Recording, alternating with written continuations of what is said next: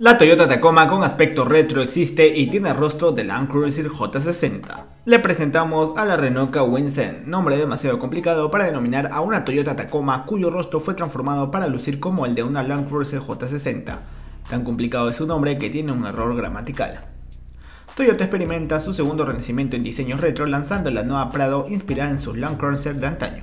También lanzaron una nueva Tacoma con un importante salto en tecnología y motores frente a la anterior generación. Justamente una de esas coma de su previa familia es la elegida para esta conversión que resulta bizarra, pero una que entre más miramos más nos va gustando.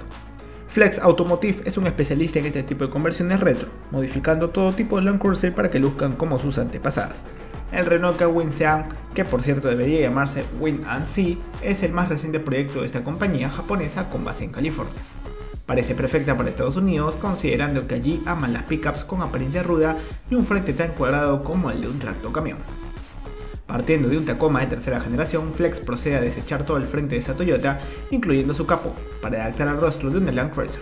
No es precisamente el frente original de una serie J60, pero sí está diseñado para lucir como una, con faros redondos rodeados de plástico negro y luces direccionales simples.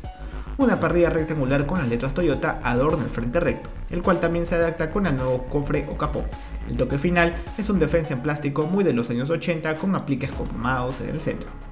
Es una conversión muy bien hecha y que resulta extraña al inicio, pero con el tiempo va cobrando sentido. Flex también añade rines en acero con embellecedores cromados, ofreciendo accesorios extras como barras LED, cubiertas para los asientos y hasta un sistema de entretenimiento moderno.